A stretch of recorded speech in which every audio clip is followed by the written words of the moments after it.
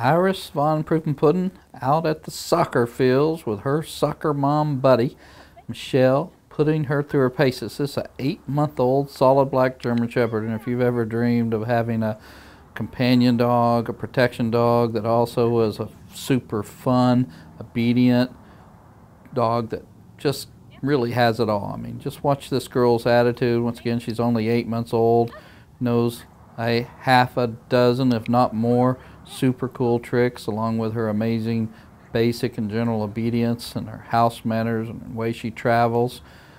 Sit down, spin, roll over, weave, and then super talented frisbee catching. I mean, those aren't the greatest throws in the world. It did not make that uh, easy throw for her, high up in the air and arching like that.